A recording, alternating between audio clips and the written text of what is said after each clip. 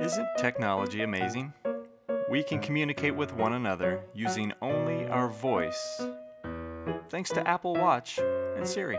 The following conversation took place thanks to modern technology and Siri.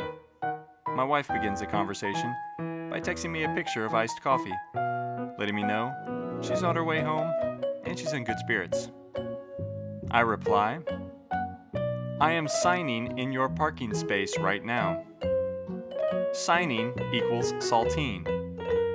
And then I texted, saltine equals saltine. But that didn't go through just yet.